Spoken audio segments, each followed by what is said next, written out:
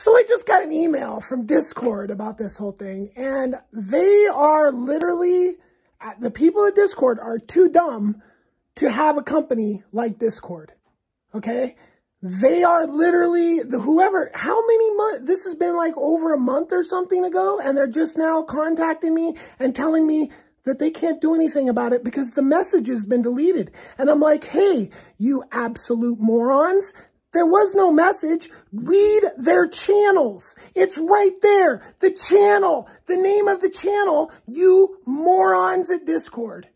Now, some people might say, oh, it's not Discord's, you know, responsibility to, you know, take care of their website. You know, people sickos are just going to go everywhere. Well, let me tell you a little story about when I was a kid, right?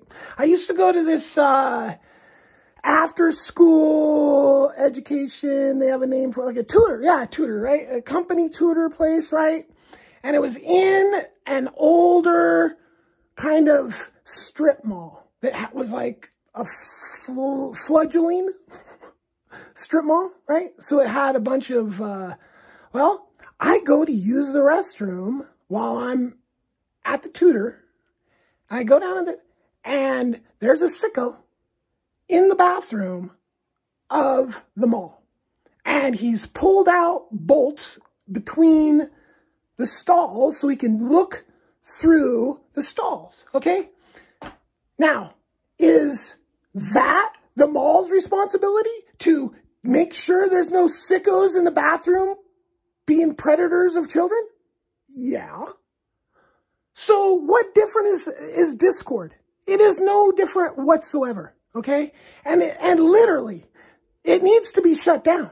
Like a government order, shut down Discord until they hire people that aren't complete morons that can take care of the problems.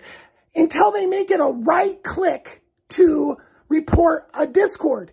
And until they can get on reports within a few hours, not a month. Okay? Literally, Discord is a bad place. They, they are not taking care of what they need to be taking care of as a place where people get together and meet. Okay?